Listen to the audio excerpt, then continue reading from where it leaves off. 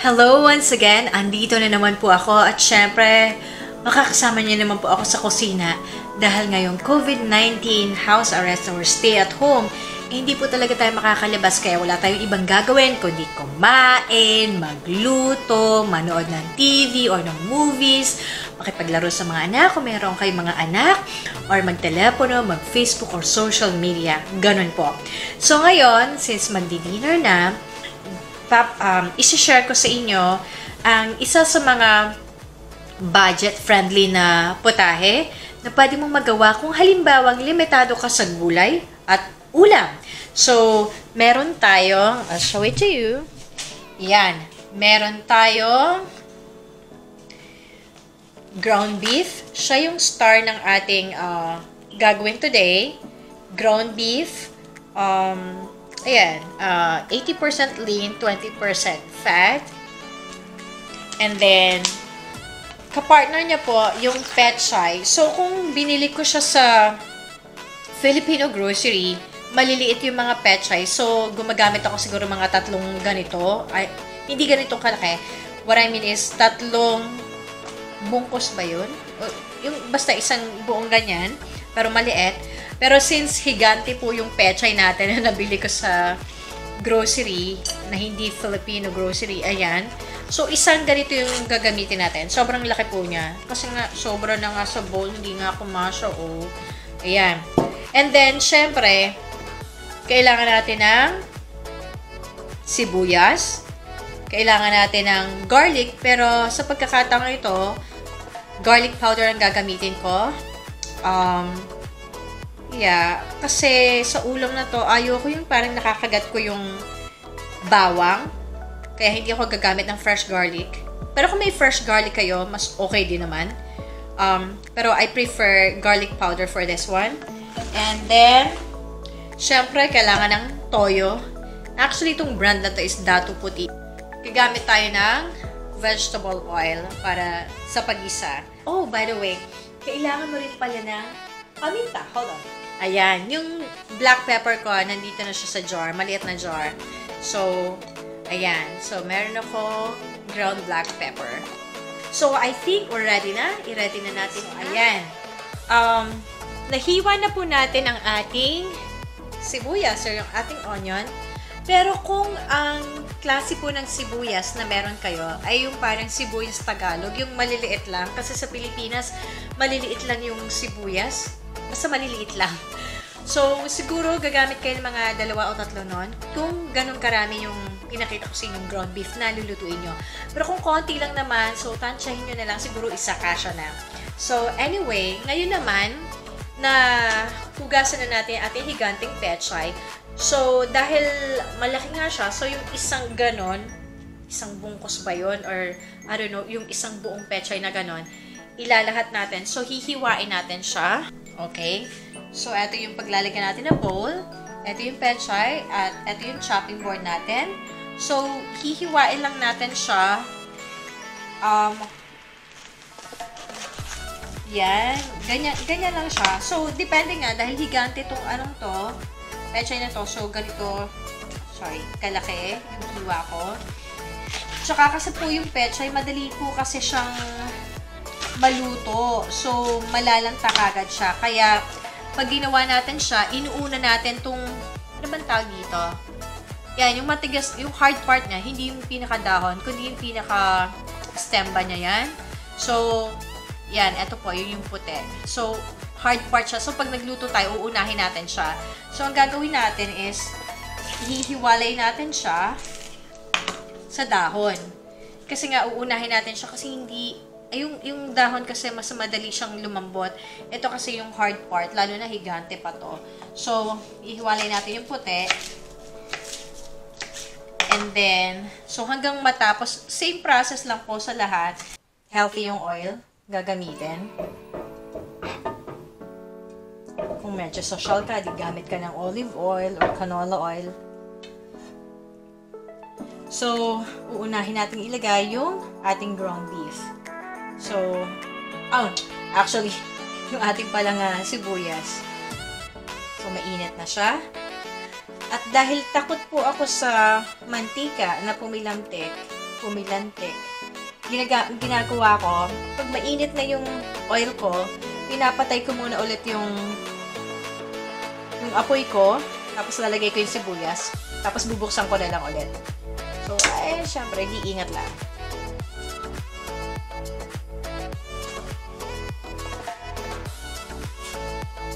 So, lalagay natin yung ating sibuyas.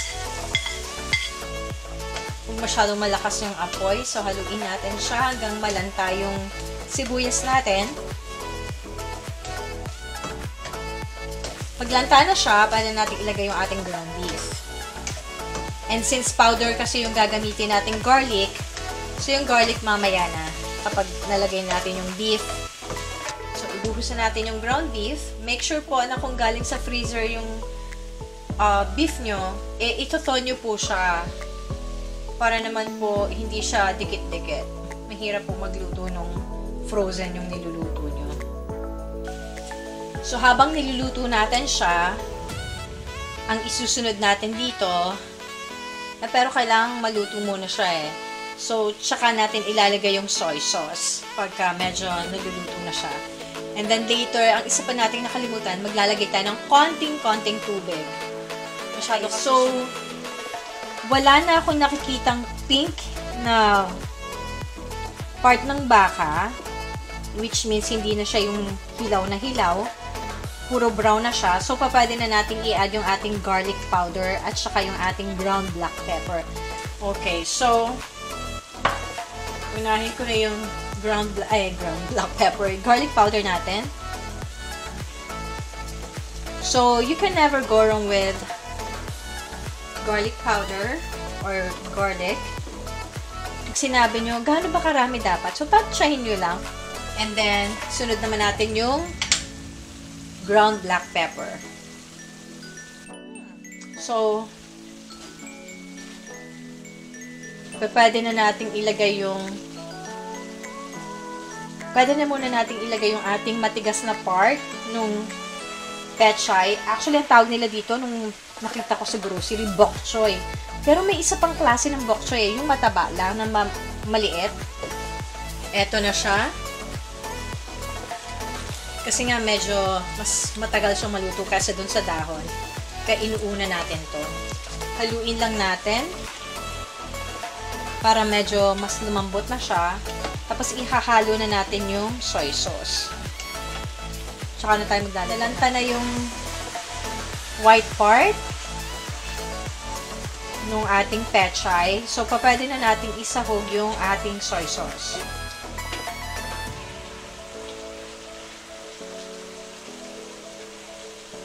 So, ang gagawin natin para matansya natin yung soy sauce is konti-konti yung paglalagay. Mahirap mapabuhos kasi hindi mo na mababawi yon.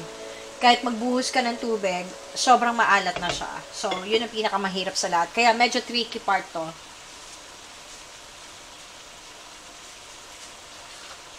Okay, so how we put it is, um, tansyahin mo na a-absorb niya yung, okay. So, I don't know how much I put into it. Kaya nang sabi ko, tinatansya ko lang siya. And then, malalaman mo naman, kasi syempre, titikman mo naman later on. So, halo mo muna siya para i-absorb nung meat at saka nung vegetable yung yung soy sauce. And then,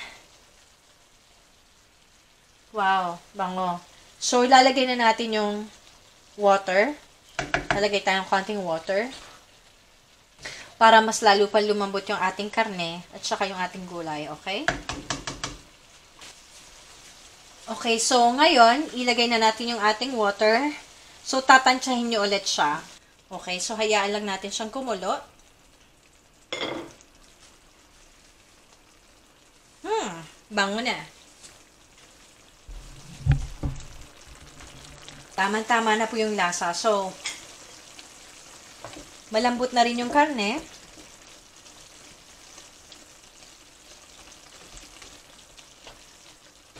So, pwede na natin siyang lagyan ng pechay.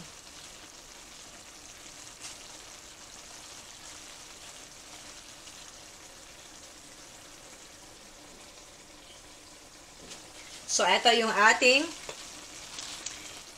hiliwang dahon ng pechay. Isasahog na natin siya.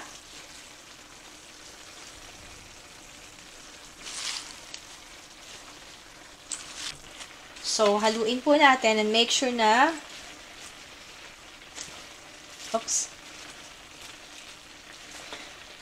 ihahalo natin mabuti para lumasa yung sabaw natin dun sa dahon. Imagine nyo, isang puno na ng kawali ito na ground beef lang at saka petsa yung nilagay natin.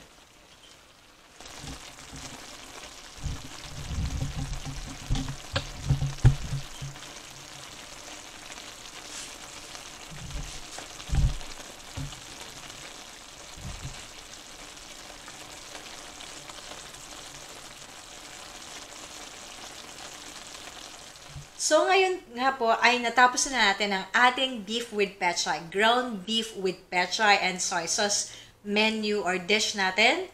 So, eto na siya. Luto na siya. So, ready na yung dinner natin. So, napakasimple. Medyo matagal nga lang pong magpalambot ng kahit ground beef yan kasi marami yung amount natin na niluluto.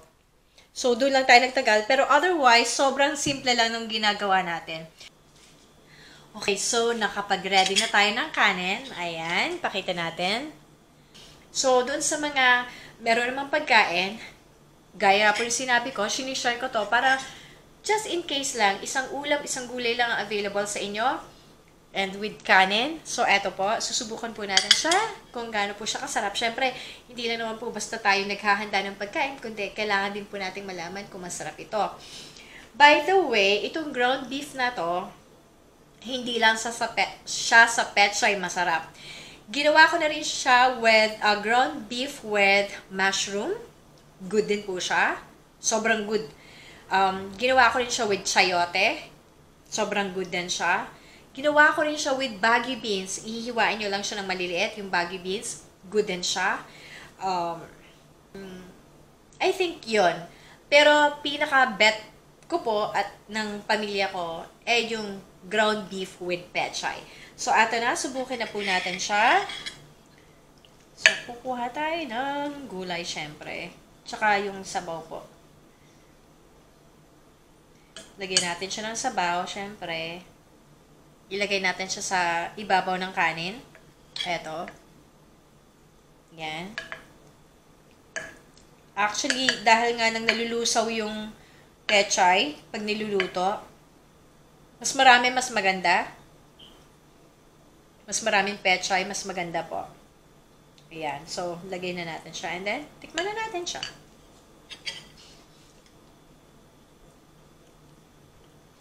Okay. Ang verdict. Okay. Teka muna. Yan. Oops. Naka, ano pa yung ating gulay. So, eto na siya.